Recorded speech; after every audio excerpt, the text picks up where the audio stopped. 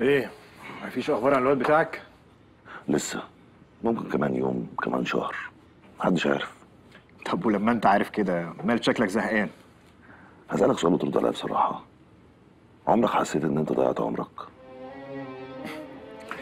بالعكس يا باسل. انت عارف إحنا لو بنحارب عدو نظامي له جيش محدد المعالم. يا تغلبه يا يغلبك كانت تبقى سهلة. بس المشكلة بقى إن إحنا العدو بتاعنا مننا فينا.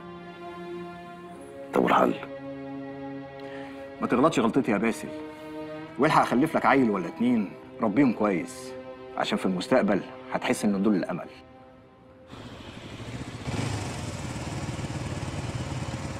البرنسيسة رجع استنى.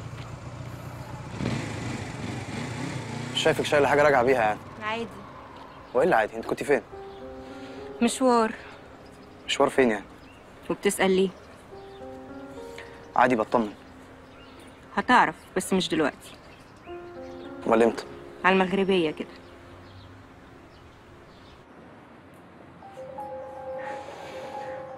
مشيت آه. كان عندها شوية مشاكل وجت تفضفض معايا. وارتاحت بقى ما فضفضت لك؟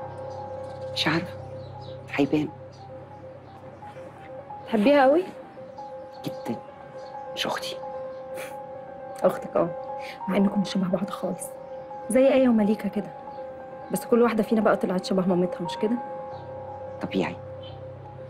عشان أنا اللي ربيتك وهي اللي ربت إيه وأنتوا صغيرين بقى كنتوا بتتخانقوا؟ طبعا. زي كل الإخوات. نتخانق ونرجع نتصالح تاني. ومين بقى اللي كانت بتخطف حاجة مين؟ يعني عروسة بتاعتها make up لبس مش فاكرة ده كان زمان قوي يا مليكة ومش فاكرة برضو مين فيكم كانت غلبانة ومين كانت قوية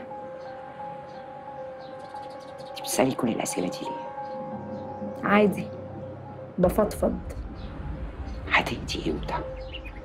هتشيلي الأوهام دي من دماغك إمتى؟ لما أتأكد زعلي باباكي تاني؟ هو كمان مزعلني على فكرة مش معقولة الخنقة اللي أنا مخنوقاها أنا قاعدة بين أربع حيطان أنا زهقت في إيه؟ أنا مش فاهمة في إن أنا عايزة أخرج عايزة أروح بحر عايزة أسهر عايزة أعمل زي ما الناس بتعمل.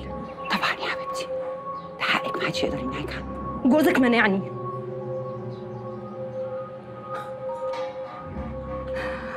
أوكي. هكلمهولك. بس وعديني إن انت تبقي أحسن.